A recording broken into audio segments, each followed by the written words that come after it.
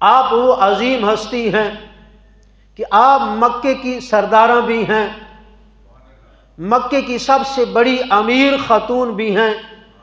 लेकिन जब करीम आका सल्लल्लाहु अलैहि वसल्लम की अकद में आई, सोने नबी से निकाह किया, निकाह हुआ तो जो माल जायदाद था मुस्तफ़ा के कदमों पे कुर्बान कर दिया। अर्ज़ करती या रसूलल्लाह, ये माल भी आपका है, मैं भी आपकी हूँ। सबसे पहले जिसने मुस्तफ़ा का कलमा पढ़ा, वो हमारी माँ अम्मा खदीजा है। और तारीख़ में आता है, इस्लाम की तारीख़ में दो ऐसी खतूनें हैं, जिनको अल्लाह ने क्यामत तक सबसे ज़्यादा हुसन दिया है। एक हमारी माँ अम्मा हवा पाक हैं, और दूसरी हमारी माँ अम्मा खदीजतुल्कुबरा पाक हैं।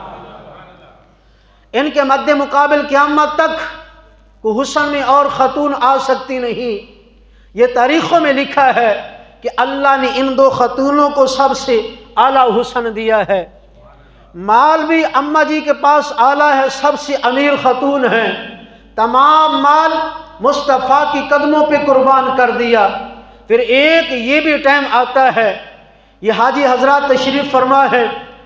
मेरे भाई जुल्फ़ार साहब भी मदीने पाक मक्का शरीफ में रहते हैं, गार सौर पे ये भी जाते रहते हैं, और भी काफ़ी ऐसे हाजी हजरात हैं जो गार सौर पे जाते हैं।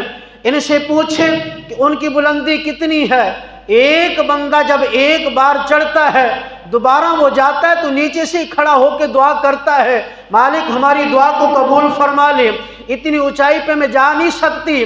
लेकिन करीम आका सल्लल्लाहु अलैहि वसल्लम गार सौर में बैठकर जब अल्लाह का ज़िक्र करते हैं, अब इतने दिन गुजर गए, आप अल्लाह का ज़िक्र करते करते जब एक माह तक गुजर गया, अल्लाह ने फरमाया, सोने आप, आपने एक माह गार सौर में गुजारा है, हमने एक माह के रोज़े आपकी उम्मत पर फ़र्ज़ कर दिए हैं।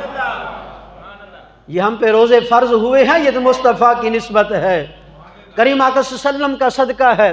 करीम आकसम गार सौर में है, अल्लाह का ज़िक्र कर रहे हैं।